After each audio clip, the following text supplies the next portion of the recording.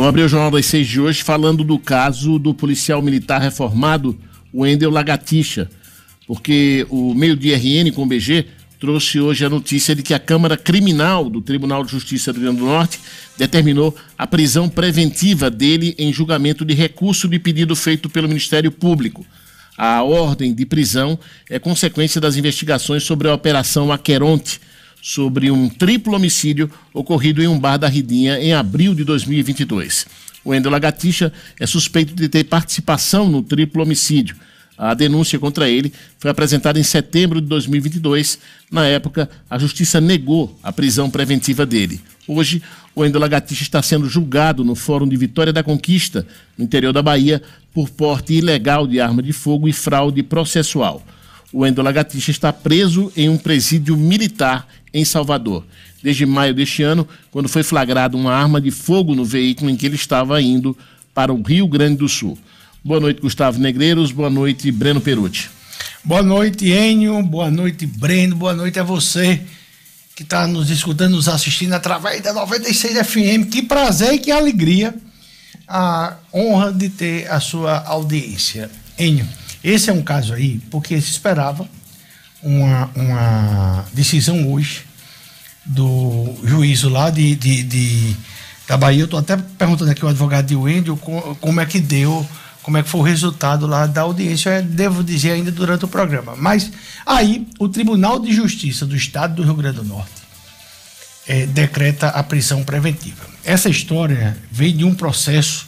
Eu escutei, escutei é, esqueci o nome da, da, da operação Hecatombe, é, Eca, Equa, é, tem, tem um, do processo. Aqueronte. Aqueronte. No qual o Endo é acusado de triplo homicídio. E na época da prisão dele, da primeira, na primeira instância, é, o, o, Ministério Público montou todo um, um vídeo de todos Isso os da sequência dos fatos. Da sequência dos fatos até a morte dessas três pessoas.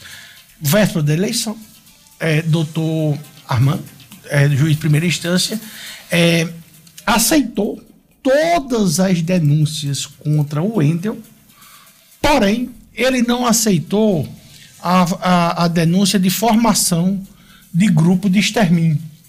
E aí, como não tinha formação de grupo de extermínio, não tinha o motivo da prisão preventiva de Wendel continuar.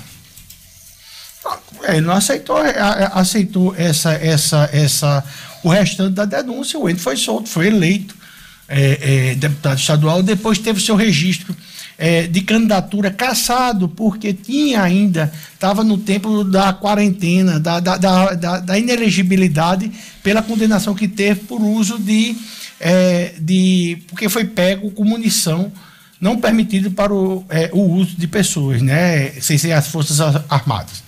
Em, depois que o foi preso lá na Bahia, o Ministério Público voltou a doutor Armando e pediu a prisão novamente de Wendel. E aí o Ministério, o, o, o juiz de primeira instância não decretou a prisão de Wendel.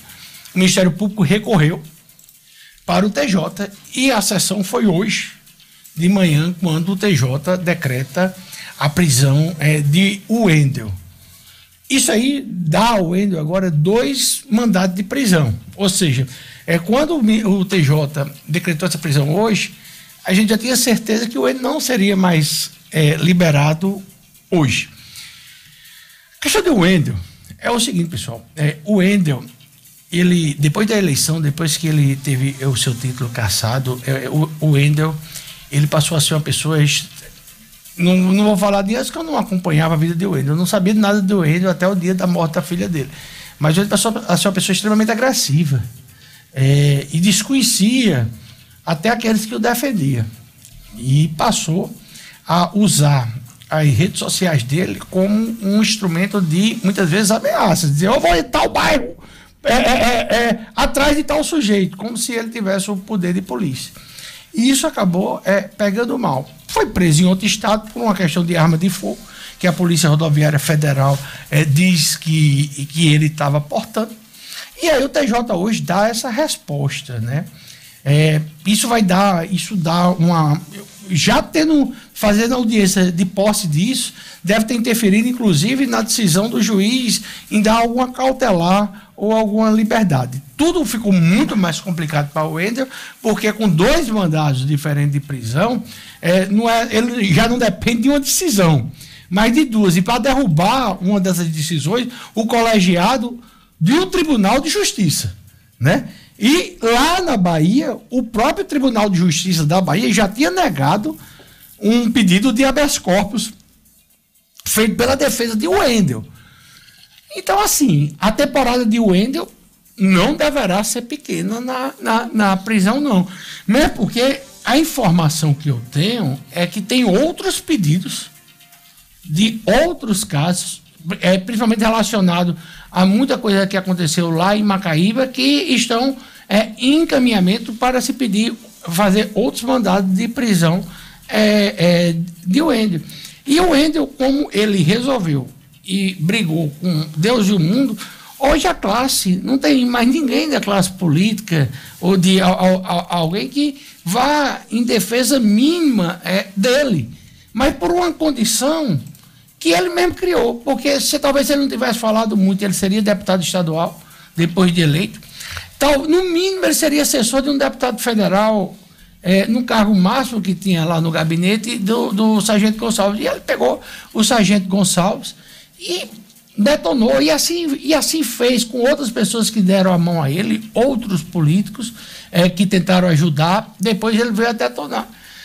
E aí ele está pagando preço. Eu não falo mais nem, sabe, é, Breno, em relação a essa, essas atitudes. Eu estou falando em relação só ao comportamento dele. Ele está pagando um preço de um isolamento que agora não tem que levantar a bandeira dele. Não tem. Vai ficar para a filha e para o sobrinho, que são candidatos a vereador é, em Parnamirim e aqui em Natal. Eu tenho. Eu não sei ainda é, dizer qual é a resposta da população, mas a cada dia eu vejo uma comoção menor em relação a, a, a essa resposta da população. E com essa comoção menor, pode vir a se refletir no próximo outubro a gente vai ver como é que está a comoção da, da, da, população com a votação de Anne e com a votação do Lagartixa Júnior, que é sobrinho dele, mas é intitulado como Lagartixa Júnior. Então, vai aguardar o que aqui tem um julgamento jurídico e tem o julgamento, o julgamento popular. Vamos aguardar o julgamento popular. Naquela outra vez, a população deu todo apoio ao Eder.